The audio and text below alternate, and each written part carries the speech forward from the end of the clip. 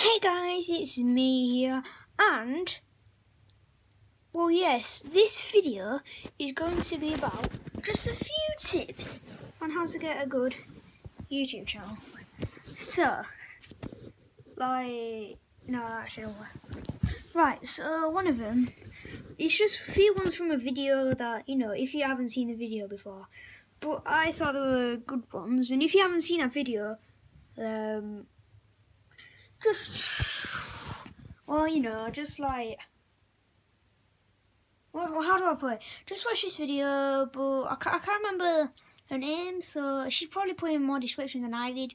But one of them is like natural lighting and like you know, like say like you rush into getting a camera or like you rush into getting lighting when you first start your YouTube channel because you're like, oh yeah, I want it all to be good.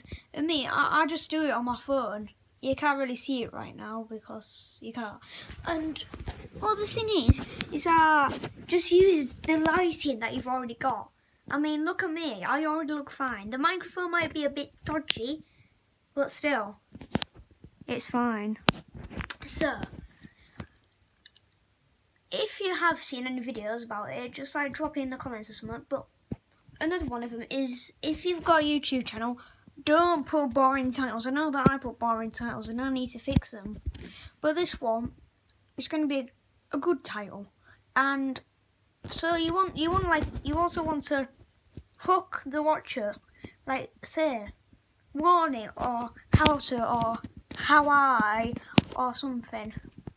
And like I know I can only do short videos because I'm on my phone and like remember I tried to do a 24 minute one but it didn't really work out. I need a PC. Defo. So yeah. I'm gonna be getting more tips so then I'll add like more videos, but this is just gonna be like a starter video.